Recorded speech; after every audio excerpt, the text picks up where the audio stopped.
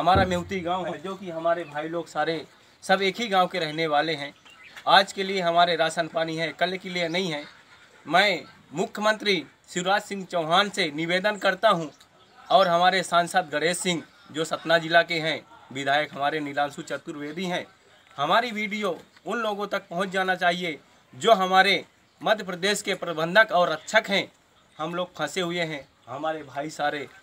चले गए हैं कुछ पैदल। हम लोग परिवार के साथ में रहते हैं छोटे छोटे बच्चे हैं।